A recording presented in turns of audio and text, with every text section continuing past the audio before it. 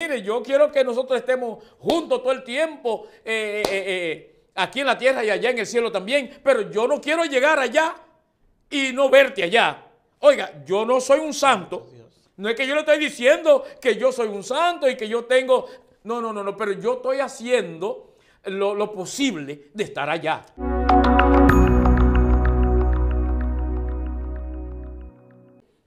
Dios te bendiga, Dios te guarde en este día. Que la paz y la misericordia esté contigo, en tu casa, con tus hijos y con todo lo que te rodean. Que la bendición de Dios esté con ustedes. Amén. Eh, está contigo tu hermana, tu amiga Yesenia Castillo de Lemos. Estoy aquí con el pastor, sí, el pastor Damisca. Usted lo conoce, usted sabe que es un hombre que siempre trae una palabra porque Dios ha puesto, ha inculcado esta palabra dentro de él para él disertarlo aquí en esta plataforma Excelencia Cristiana TV, que se ha convertido en casa de Dios y puerta del cielo. Pastor, Dios le bendiga. Dios le bendiga Mala, Dios le guarde, le amo en el amor de Cristo. Igual, recíproco. Bendito sea la gloria de Dios. Yo amo ese pueblo hermoso del Señor. Amén. Yo cuando estoy aquí delante de- del pueblo de Dios, oiga, yo me siento todo eh, eh, eh, eh, eh, suyo. Sí, así Un es. abrazo directamente. Bendito sea la gloria de Dios. Pero aparte del abrazo que yo le voy a mandar al siervo de Dios, también quiero mandarle un saludo cordial a mi gran amiga Adriana. Dios mío, Adriana, por favor, no me tome ese pecado Adriana. en cuenta. Que por muchas veces se me olvidó el nombre de mi gran amiga. Aleluya. Adriana, yo te amo en el amor de Cristo, por favor. Dios te bendiga, Dios te guarde. Amén. Eh, bendito sea la gloria de Dios. Amada, tenemos un tema muy complejo hoy Sí, sí. que es, eh, gloria a Dios, eh, las ovejas perniquebradas son olvidadas. Santo Dios. Eso se encuentra en Ezequiel 34. Bendito sea la gloria de Dios. Verso Aleluya. uno. Versículo 1 al 3 vamos a estar leyendo. Amén. La palabra de Dios será leída bajo la autoridad del Padre y del Espíritu Santo. Amén. Y dice así: Vino a mí palabra de Jehová diciendo: Hijo de hombre, profetiza contra los pastores de Israel. Profetiza y di a los pastores: Así ha dicho Jehová el Señor. Hay de los pastores de Israel que se apacientan a sí mismos, no apacientan los pastores a los rebaños. Dice el 3, coméis la grosura y os vestís de la lana, de la, lana, la engordada de, go- de Goyas, mas no apacientas a las ovejas. Dice el 4, no fortalecéis las débiles, ni curasteis la enferma, no vendaste la perniquebrada, no volvisteis al redil a la descarriada, ni buscasteis la perdida, sino que os habéis enseñoreados de ellas con dureza y con violencia. Didios eterno, Rey de Reyes Dios. y Señor de Señores. Gracias por Santo, tus palabras, gracias, Señor. amado. Te agradecemos de una manera especial. En el nombre de Jesús. Santo. Amén. Gloria a Dios. Amada, el Señor está demandando pastores. Ajá. Alabado sea la gloria de Dios. Santo es el Señor. Amada, hay de los pastores. Hay de los pastores, de mis queridos pastores. Hay. ¿Sabe lo que pasa? Amada, en realidad yo entiendo a Dios. No de todo. Porque eso hay que, eso hay que decirlo así. Sí. Pero entiendo una parte. ¿Quién es que constituye pastores? Es Dios. Dios. Ahora mismo hay unos hombres que están constituyendo hombres pastores, Así que no son nada. Así es. Bendito sea la gloria de Dios. Yo estoy hablando con los pastores que Dios ha constituido, Santo Dios. no con los pastores que los hombres ha- ha- ha- han hecho. Han hecho, han puesto por ellos mismos. Bendito sea la gloria de Dios. Santo es el Señor. Dios mío, Padre amado. ¡Ey, santo!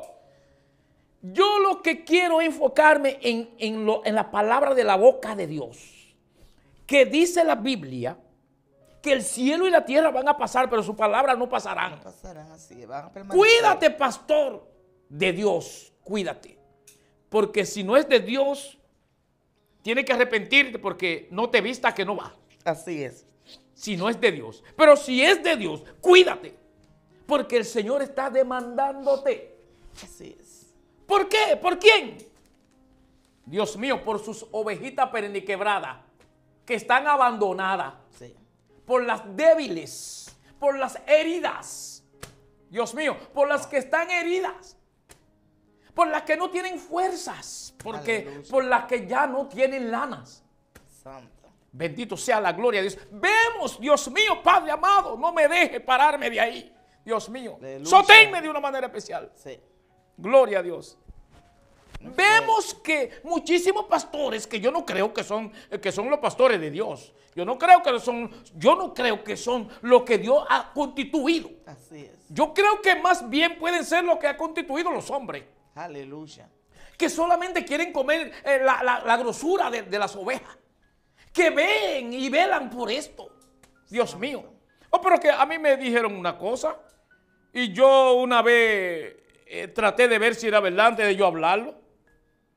Usted sabe que en los batelles, sé que usted ha ido poco a los batelles, Sí. No, yo he ido. eh, se usa una cosa, la compañía le pagan una bonificación Sí. y una cosa que le dicen mepa cual eh, todos los años a los obreros, a los que trabajan en el Central Romano. Romana. ¿eh? Gloria a Dios, aleluya. Santo es el Señor. Eh, eh, cuando dan las bonificaciones, ellos lo dan eh, en una oficina. Y ahí había un miembro de, de una iglesia que, que iba a cobrar sus prestaciones. Sí.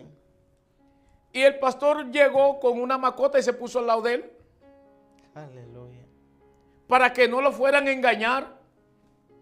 Dios. para ver cuánto tenía el cheque primero, para, para él apuntar en, en su macota cuánto había que darle. El Señor reprenda al diablo. En el nombre de Jesús. Bendito sea la gloria de Dios. Vamos a hablar de eso de aquí a un ratito. Si usted tiene que hacer eso o si no tiene que hacerlo. Que yo no creo que es lícito. Bendito sea la gloria de Dios. Pero vamos a enfocarnos primero en las quebradas, en las que están heridas, en, en los que están enredados a- a- allá en los matorrales. Dios. ¿Eh? ¿Por qué usted no deja la 99 allí y va a buscar esa Así es. para completar la 100? ¿Por qué usted se olvida de esa, de, de- de- de esa ovejita que necesita pasto? Sí. Bendito sea la gloria de Dios. Que tiene dos o tres días que, que- que- que no recibe el pasto. Bendito sea la gloria de Dios. Aleluya. Aleluya. Sino enredada allí. Allí está sol y sereno y todo le están pasando allí. Y no viene el pastor a rescatar. Gloria a Dios. No, yo voy a fijarme en la, en la, en la engordada. En la engordada ya yo sé que yo, eh, eh, eh, eh, ahí está lo mío. Puedo comer la grosura. Puedo usar la lana. Puedo usar la lana y puedo comerme la grosura, que eso es lo mío. Pero el Señor te está demandando. El Señor te ha dicho, pastor, que Él va a venir, Él mismo, Él mismo, a cuidar de su oveja, a pastorear a su oveja. Y usted no será pastor. Déjame decirte una cosa. La palabra de que no será pastor es que no va a tener, no va a tener, Dios mío, Dios mío, Padre amado Aleluya. es que no va a tener con Dios lo que usted está pensando tener. Es que a ti será quitado, se te van a quitar todo lo que tú estás pensando que tú debes de tener en Cristo. Se, se será quitado si sigue esta práctica. Oiga, tiene que entender esto. Bendito sea la gloria de Dios. Porque déjame decirte una cosa.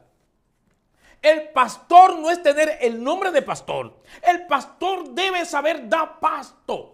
Así es. El, pa- el pastor tiene que pastorear a su oveja. Pero ¿cómo una oveja va a necesitar, va a necesitar eh, eh, eh, una venda? Entonces, en vez de tú vendar esta oveja, mejor la deja sangrar. Desangrándose. Bendito sea la gloria de Dios. fuerte. Aleluya, santo es el Señor. Oh, gloria a Dios, mi alma alaba a Dios. Mi alma alaba a Dios, aleluya. Alabado Dios. Santo es el Señor.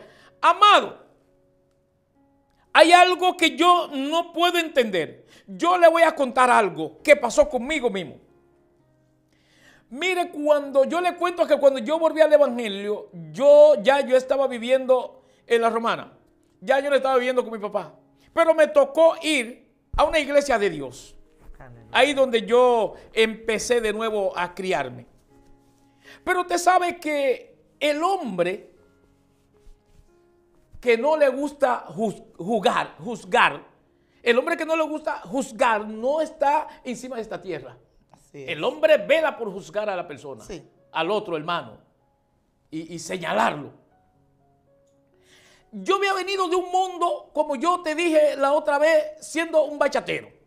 Cantaba mi bachata y la gente se gozaban. Y cuando dejé esos suburbios y me metí a, servir a Cristo, mucha gente no creía en mí. Y usted cree. Y muchos decían, yo le doy una semana. Y el otro 15 días. Y eso hasta el sábado. Bendito sea la gloria de Dios. Eso era muy difícil oír que venía el papi de la Margue a cantar ahí y que, no era un suburbio grande. Pero ese papi de la Margue más nunca más volvió ahí. Y usted sabe que, amada, eh, a mí me gustaba eh, la malta alemana en un tiempo. Yo tengo muchísimo tiempo que no, no sé de esto. Y cuando yo llegué a, al Evangelio, yo ya no bebía, es ni vino. Que usted sabe que a veces la gente se da su traguito de vino. Sí.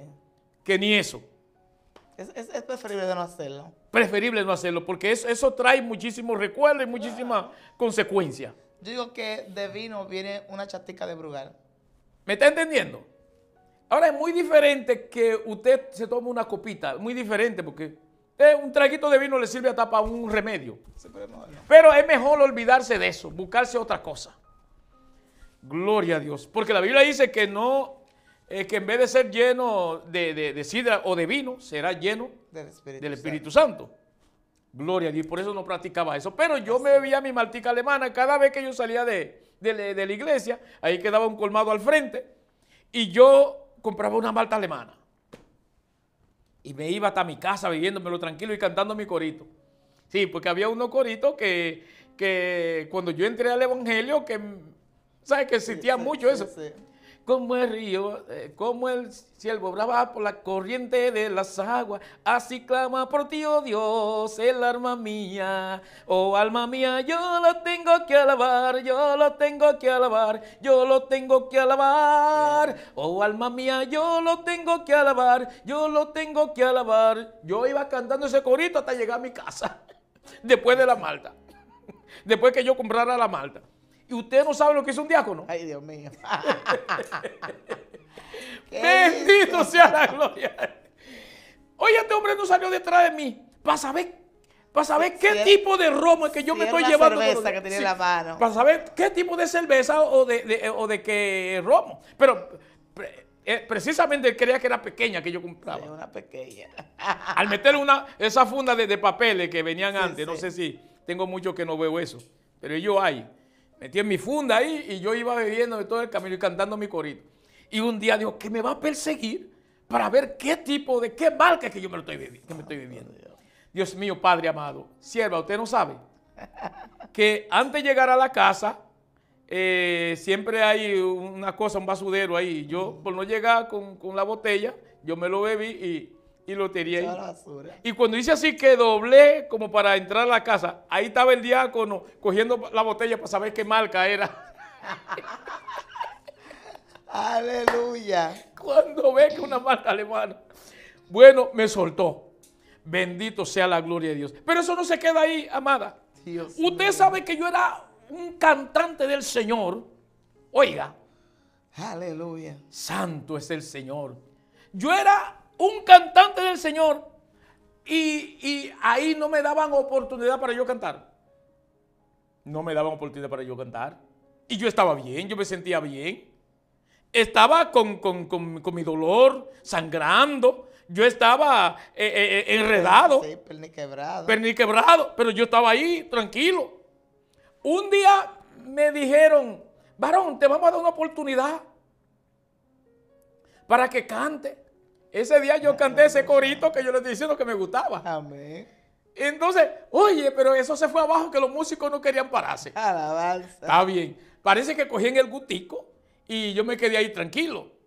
Ay, y venían los, los- los- los hermanitos. Tú sabes que hay unos hermanitos que son, eh, que son chéveres, Sí, como son dicen. cariñosos. Sí, que son cariñosos y que... Y le dan como ánimo a uno. Oye, y que no empujan a uno, y que no le dan pedrada a uno, y que verdaderamente aman a los hijos de Dios. Sí, sí. Y venían, ay, ay, ay, varón, qué lindo usted canta, ay, qué, qué voz usted tiene, que yo qué. Digo yo, bueno, yo por lo menos si cantaba una bachata y la gente le gustaba, yo debo de cantar Claro. eh, eh, mi corito. que para le- Dios más. Dije yo, bueno, bueno, la, la- la- la próxima oportunidad yo voy a cantar una, una alabanza. Aleluya. Sí, eh, pero no me daban nada. Pero yo me quedaba ahí, allá atrás cantando mis cosas. Así es. Bendito sea la gloria de Dios. Amara, pero vamos a llegar. Yo le estoy haciendo esa historia para que la perniquebrada sepan que no tengan que mortificarse, que esperen en Dios. Así es. Gloria a Dios. Entonces un día me dicen, varón, eh, yo, yo quiero darte una oportunidad. Tú, tú puedes coger una oportunidad. Porque era así. Yo no di- dije que me decían a mí, di que venga, tiene una oportunidad. Varón, tú puedes coger una oportunidad. Digo, ¿por qué no? Yo lo cojo si me la dan. Porque eso, eso era una cosa con muy, muchas cosas. Esta gente que usted encontraba ahí eran así. No se reían contigo muy fácil. Dios. Usted no veía los dientes de su hermano muy fácil. Eso era así, una cara dura como un machete, voto. Así era. Ay, Y, así. Y- y- Eso no es el evangelio. bendito sea la gloria de Dios. A mí me tocó vivir esa parte. Santo Jesús. Bendito sea la gloria de Dios. Y cuando ese día dije yo, bueno, yo no acostumbro cantar muchas canciones cristianas, eh, pero yo hay una canción que yo siempre he oído y ya yo me la sé, yo me la voy a cantar. Claro. Que es una canción de, de una hermana que murió, que se llama eh, María Teresa Pérez. Oh, amén, amén. Bendito Yo la sea. Sí, bendito. Ella y yo tuvimos un concierto juntos en San Francisco de Macorís, después de todo. Sí, nosotros la invitábamos. Gloria a Dios, aleluya, santo es el Señor. Y me puse a cantar la canción de esa sierva. Dios mío, Padre amado. Los músicos no quisieron parar otra vez. He comprendido Comprendido que mi esfuerzo como humana no es suficiente para hacer su voluntad. Dios. Oye, y yo canté esa canción y cuando eso se fue abajo otra vez, ya entonces ya me estaban poniendo en lista que tal día yo tengo que cantar. Oiga, pero, pero no todas las veces tampoco. Bendito sea la gloria de Dios. Es decir, que yo sé lo que sufren las ovejas perniquebradas. Fue tal que Dios me sacó de esa iglesia. Aleluya, santo es el Señor. Santo. Y cuando el Señor me estaba sacando de esa iglesia, yo decía, pero Señor, mm, dicen la gente que uno para irse de esa iglesia tiene que darle eh, carta. carta, que yo qué. Y tú sabes que me, me dijo, fue un ángel, dos ángeles, con, con- con figura de hombre y figura de hembra. Santo. Me dijeron, mire la carta que el Señor te mandó Aleluya. para que te vaya. Y eso pasó conmigo. Y de ahí en adelante fue que yo empecé mis grabaciones, El mis mismo- cinco grabaciones. El mismo Dios te sacó. Bendito sea la gloria de Dios, aleluya. Santo es el Señor. Entonces, hay pastores que están matando las ovejas. Hay pastores que están degollando las ovejas. Aleluya. Hay pastores que están, que, que- que lo que quieren es la lana de las ovejas Santo Dios. la grosura de las ovejas. Bendito sea la gloria. No están velando por las ovejas. No están haciendo lo que tienen que hacer. Pero déjame decirte una cosa hoy. Jesucristo te está demandando. Amén. Y de verdad, de verdad, amado, yo lo amo. Yo lo amo. Yo lo amo. Yo quiero verte en el cielo. Pero acuérdate de la ovejita. Así Que es. están de tu parte, que están de tu lado, que están debajo de ti. Que tú tienes que ver con ellos. ¿Sabes? Porque déjame decirte una cosa. Todavía usted no tiene que ver con ellos. Y si, y si puede hacer algo, hazlo. Hazlo. Oiga, no lo mate. Oiga, desenrédelo. No, no, la- no la deje ahí enredado. Aleluya. Oiga, dije, porque no tiene mucha fuerza o porque tú crees que no va a tener eh, eh, eh, alguna cosa que te puede ser de beneficio. Aleluya. Olvídese de esas prácticas porque tú vas a tener problemas. Así es. ¿Sabes? Vas a tener problemas. Bendito sea la gloria de Dios, porque ese negocio no es tuyo, no es de hombre. Ese negocio es de Dios. Usted Así lo que es. tiene, usted es un trabajador. Usted tiene que hacer lo que Dios te mandó a hacer. ¿Sabe? Porque esa ovejita necesita pasto. Amén. Bendito sea la gloria de Dios. E Imagínese una noche entera desangrándose. Dios. Imagínese tres días sin pasto. Aleluya. Para que se muera. Santo es el Señor. Bendito sea la gloria de Dios. Cuando ya no pueden caminar. Cuando tienen que quedarse en el camino. Acuérdese de esto. Aleluya. Que el Señor no se ha olvidado de esa oveja. Así es. Acuérdate que esa oveja es del Señor. Aleluya. Acuérdate que el Señor derramó su sangre en la cruz del Calvario por esa ovejita. Bendito sea la gloria de Dios. Gracias. Aleluya. Acuérdate que es importante para el Señor esa oveja perdiquebrada que está allí pasando la mil y la una. Dios mío, Padre amado. Sin ser protegido. Abandonado. Dios mío. O abandonada. Entonces, vamos a recapacitar. Vamos a volver atrás. Vamos a buscarla. Vamos a vendarla. Vamos a curarla. Dios mío. Vamos a darle pasto. Vamos a ayudarla. Dios. Oh, pero últimamente hay una situación rara. Bendito sea la gloria de Dios. Hay un grupito. Usted canta el devocional. Usted canta eh, eh, eh, el cultural. Y usted el coro de la ofrenda. Y se acabó. Todos los días. ¿Y las demás? Dale seguimiento a esa ovejita. Mira a ver para qué pueda servir. Búscale, ayúdale, levántalo, póngalo a trabajar. Porque el trabajo es de Dios. Así es. Bendito sea la gloria de Dios. Y ayudándolo así, empujándolo así a, a que entre al redil, vas a entrar. Pero acuérdate que si tú no lo haces así, lo estás sacando del redil. Dios mío, Padre amado, lo estás sacando del redil. Así es. No lo saque del redil. Dios mío. No lo deje abandonada. Búscalo, trae, siéntala. Cerca del altar, juntamente contigo. Pero no allá, allá en el banco. No, es, es un calentabanco, como dicen últimamente. Ese calentabanco, levántalo de ahí. Tráelo al frente. Habla con él, vaya a su casa. Visita a tu oveja busque conocer qué le pasa a tu oveja, que no puede caminar. Busca conocer si esta herida está sanada. Tiene que tratar de conocer si esta herida ya, eh, ya eh, a- a- a- se ha curado. Pero tú no sabes nada de lo que está pasando. Tú no quieres tampoco saber nada de lo que está pasando y lo que ha pasado. Eso no es de Dios. Oiga, el Señor va a demandar a todos los pastores que se encuentren en esa situación. Santo Dios. Y yo amo a mis pastores. Mis pastores, yo lo amo. En el amor de Cristo, yo lo quiero a todos. Mire, yo quiero que nosotros estemos juntos todo el tiempo, eh, eh, eh, aquí en la tierra y allá en el cielo también. Pero yo no quiero llegar allá y no verte allá. Oiga, yo no soy un santo. No es que yo le estoy diciendo que yo soy un santo y que yo tengo... No, no, no, no, pero yo estoy haciendo lo, lo posible de estar allá. Así es. Estoy haciendo lo posible de estar allá. Y yo creo que también eh, debemos todos hacer lo posible de estar allá. ¿Cómo? Hacer lo que Dios nos ha mandado hacer. Y mira que yo no tengo mucha oveja. Pero déjame decirte una cosa. Déjame decirte una cosa. He trabajado en la calle con la oveja ajena. Santo es el Señor. Y yo no tengo que decir los trabajos que yo he hecho, ni lo que yo voy a hacer, ni lo que estoy haciendo. Así El. Señor lo sabe. Pero debemos de tratar de ver si las cosas se arreglan. Porque estas ovejitas necesitan de pasto. Necesitan que sus pastores se le acerquen. Porque no es posible, no es posible, Dios mío, Padre amado, lo que está sucediendo en el pueblo de Dios. No Dios. es posible. Muy fuerte, pastor.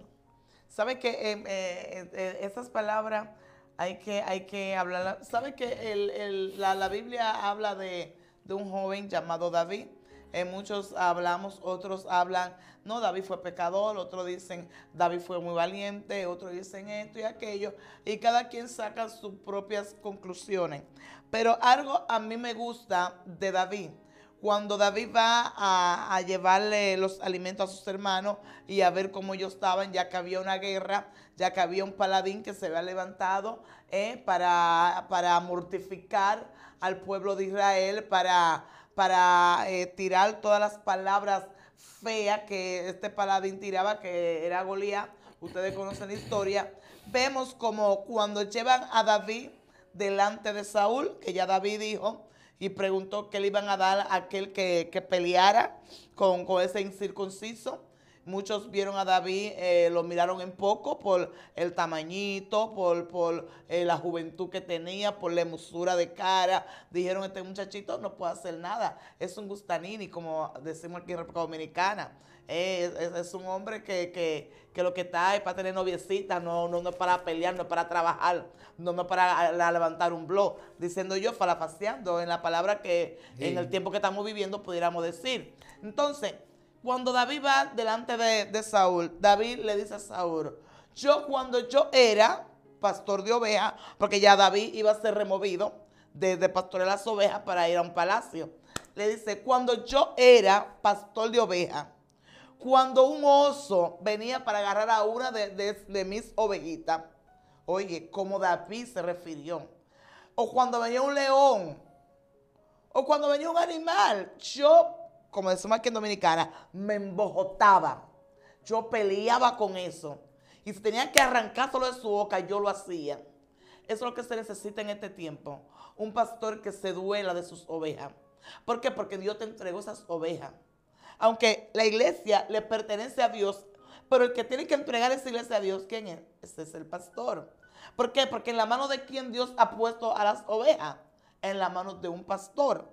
Pero vemos que ahí está hablando que hay ovejas que están heridas. Hay ovejas eh, perniquebradas. Las perniquebradas son aquellas que se les parte la patica y no pueden caminar y la dejan ahí. La dejan ahí. Pero no la dejan ahí para después volver a buscarla. Te vas a quedar ahí, te vas a morir ahí. Tengo problemas, necesito, porque yo siempre he dicho que un pastor es un padre, aunque muchos no lo vean así. Yo respeto a los pastores. Eh, yo que quizá puedo escuchar que un pastor cayó, que un pastor esto. Usted nunca me va a saber que voy a prestar mi boca para, para, para empezar a hablar cosas de, ese pastor, sino voy a, a- tomar mi boca para orar por ese pastor, para que el Señor lo restaure y vuelva a levantarse, porque cualquiera puede caer, cualquiera puede fallar, aquí no tenemos ala, pero el- el Señor le está haciendo un llamado a los pastores, ¿eh? no porque ustedes comen de, de la grosura, lo están chupando, están comiendo de la grosura y se están cubriendo con sus lanas. Pero las perniquebradas, las que están heridas, las que están enfermas, la que se salió de redil, la que se perdió, no la están yendo a buscar, no están vendando a la, a la perniquebrada, no están, no, no están curando las heridas. Gloria y por eso tú ves muchas personas que tienen, que tienen raíz de amargura dentro de su corazón. Gloria a Dios. Y están sufriendo, están llorando. Gloria Necesitan de, de un pastor. Necesitan de alguien que le diga, mira, yo estoy contigo. Alguien que va, que vaya a la casa de, de esas ovejitas. Gloria ¿Cómo amaneciste? ¿Cómo tú estás? ¿Cómo está la familia? Y tu matrimonio. No hay que comer. Toma, cocina, comparta. ¿eh? Porque fue, Dios te lo entregó en tus manos. Pero estamos viendo que no. Amén. Amada, vamos a hacer una lectura para, para, para seguir esa frasecita que tengo aquí. Vamos a leer en Malaquía 3, 10 y 11. Malaquía. Gloria a Dios. Aleluya. Malaquías Malaquías. 3.10 ujú, y 11. Sí. dice, traed todos los diezmos al alfolí y hay alimento en mi casa. Y probadme ahora en esto, dice Jehová de los ejércitos, si no os abriré las ventanas de los cielos y derramaré sobre vosotros bendiciones hasta que sobre y abunde. Dice el 11.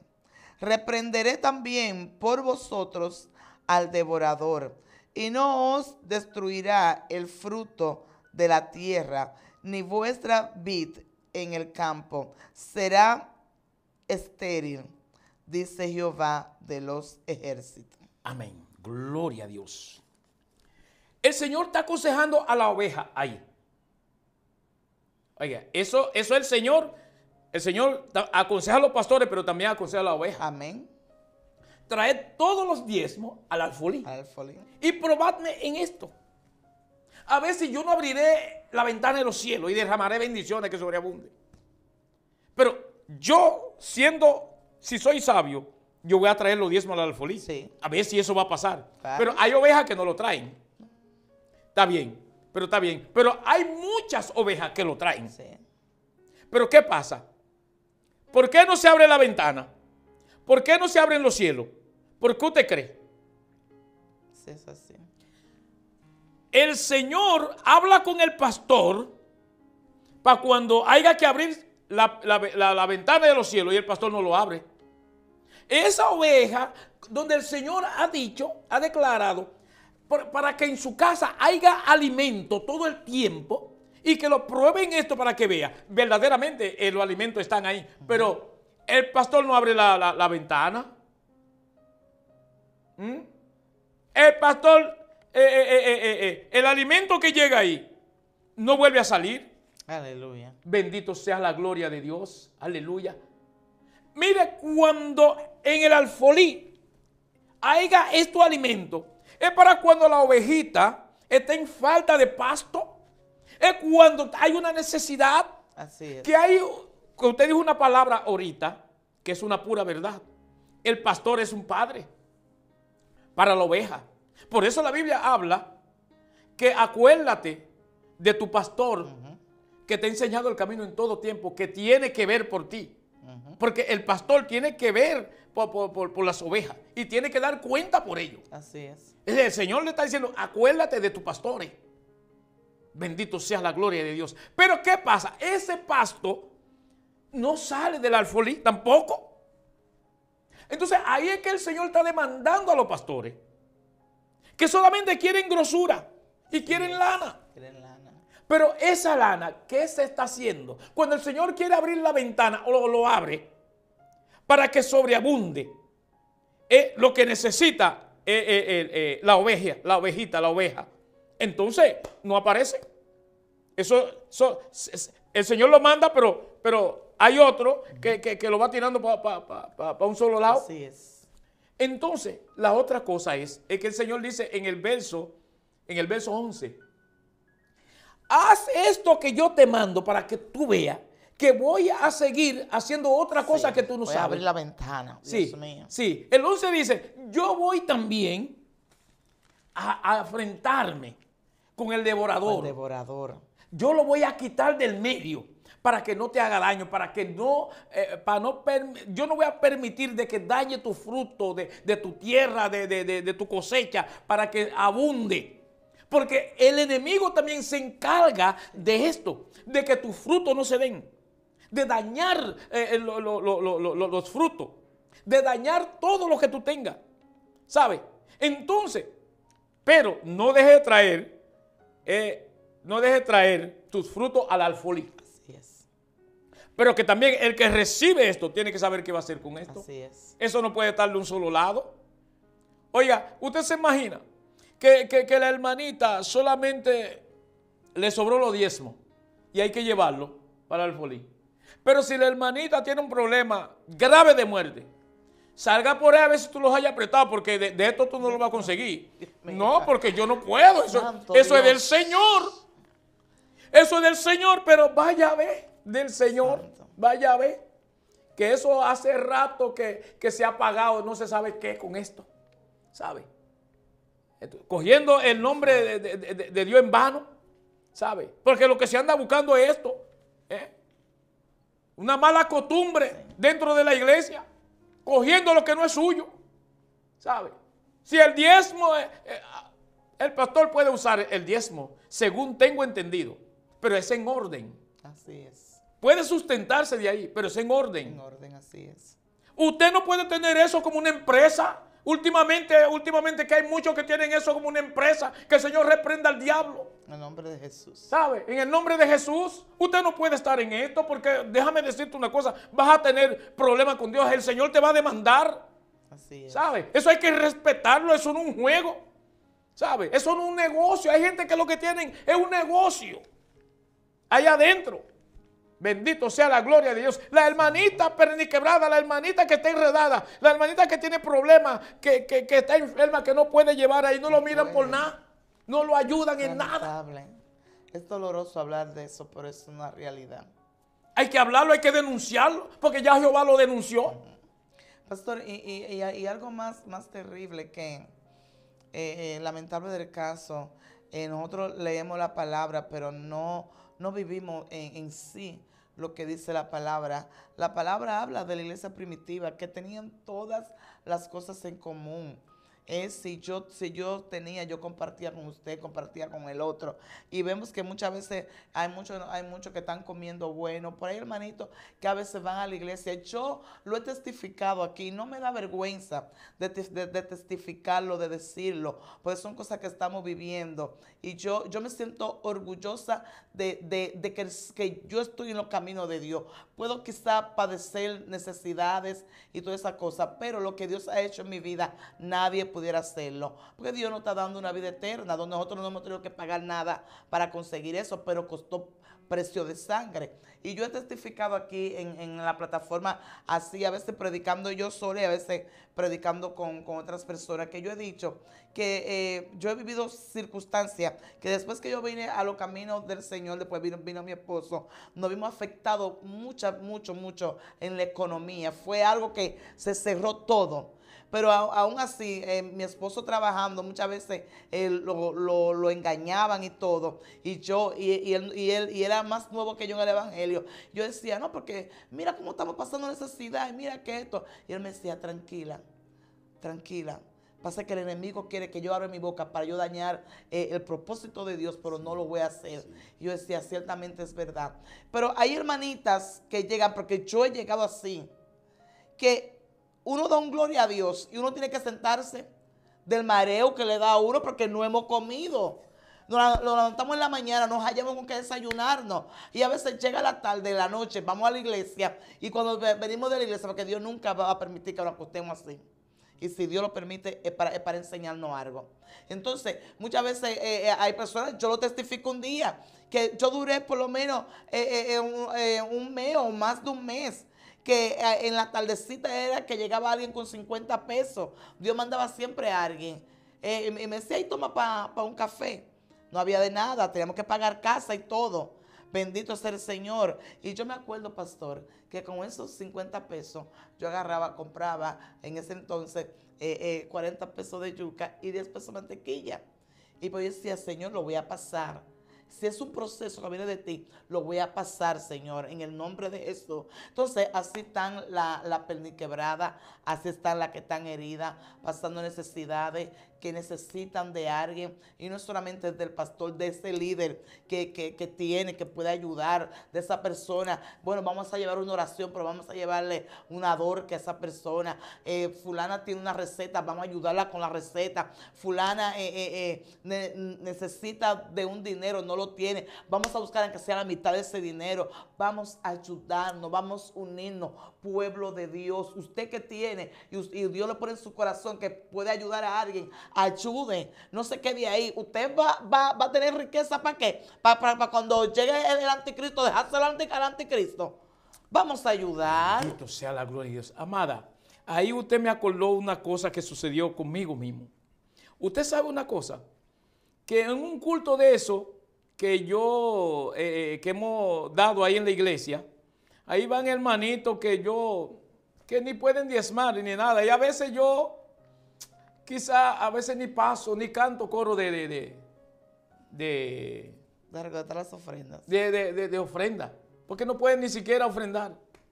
Pero como de costumbre, a veces uno, y, y después que pasa el culto, me dice una hermana, pastora que estuvo ahí, yo te voy a aconsejar algo. Hay, algo que usted hizo mal, que no debe de hacerlo. Me, le pregunto, ¿cómo qué? Yo vi que cuando se terminó el culto se te, acercó una hermana y te pidió algo y yo vi que usted se lo dio. Digo así, una hermana que me dijo que no había comido hoy y me dio pena que yo nada más tenía 50 pesos en los bolsillos y se lo di. Y me, dio pena darle 50 pesos nada más. Me dice, mira, tú estás haciendo eso muy mal. Usted está mal acostumbrando a, esa gente. Esa mujer, esa ni, siquiera eh, eh, eh, ofrendó. Oh. Pero venga acá, Dios mío, Padre amado. ¿Y dónde está el amor? Primeramente, no existe el amor. Segundo, la compasión. Tercero, usted es un hijo del diablo. ¿Por qué? ¿Por qué? ¿Por qué? Porque, oiga, esa gente, oiga, porque no tuvo para, para, ofrendar. Oiga, por lo tanto, si no tuvo para ofrendar, no tiene para comer. Para comer. Entonces, si yo tengo 50 pesos y yo tengo mi comida segura, ¿no se lo puedo dar? Claro. Mire, yo no reprendí a esa persona por respeto. Que la Biblia dice que usted no debe reprender a la persona, pero sí el que está detrás de ella, tú puedes reprenderlo. Sí. Bendito sea la gloria de Dios. Amada, usted ha dicho una palabra, eh, una palabra de mucho peso con eso que usted aportó aquí en esa enseñanza. Es así. Porque déjame decirte una cosa. Eh, el hombre, el hombre no está reconociendo las cosas de Dios, como Dios quiere que se haga, como Dios quiere que nosotros vivamos. Bendito sea la gloria de Dios, aleluya. El diezmo hay que darlo pero ese diezmo, tú tienes que saber qué tú vas a hacer con ese diezmo, cómo administrarlo. Oiga, esas perennes quebradas necesitan ayuda. Si hay que ayudarlo, ayúdelo. Oiga, no lo dejes solo. Oiga, eh, eh, si tú quieres que... Pues tú no sabes si ellas se sanan y puedan aportar y puedan dar diezmo y puedan hacer, pero tienen que estar sanas, tienen que estar, eh, tienen que estar bien. Oiga, tienen que estar curadas. Así es. ¿Sabe? Y, y, y, la que están enferma tiene que estar sana también. Entonces, ayude ahí para que después se pueda de cosechar. Así Pero no solamente en lo que están gordita y con mucha lana y con mucha grasa y que tú vas a comer con yuca. Oiga, olvídese de eso. Aleluya. Ciertamente es así. Es verdad que hemos llegado al final de, de, de estas palabras tan lindas y tan hermosas que si usted quiere una segunda parte, usted la puede pedir. Bendito sea el Señor. Ciertamente estamos en, un tiempo que tenemos que unirnos, tenemos que ayudarnos. Hay muchas personas que tienen mucha necesidad de tenemos porque nadie es rico y, como la iglesia primitiva que se unían para, para ayudarse, yo creo que todavía se puede hacer. El que tiene más ayuda que el que no tiene. Bendito sea el Señor. Eso es lo que Dios quiere. Eh, unión entre, entre, entre su pueblo. Bendito sea el Señor. Aleluya. Pero te pedimos que te suscribas, que le dé me gusta, dale like. Eh, comparta con tus amistades para que YouTube recomiende este video y pueda llegar a más personas.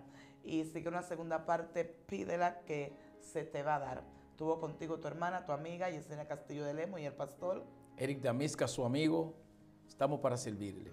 Así que Dios te bendiga. Si quieres una oración, pídela. Si quieres eh, comunicarte con el pastor, que él va, a orar, él va a orar por ti. Yo también oro por ti. Pon en los comentarios tus inquietudes. Vamos a orar. Porque Excelencia Cristiana somos una familia y estamos para ayudarnos. Dios te bendiga. Dios te guíe.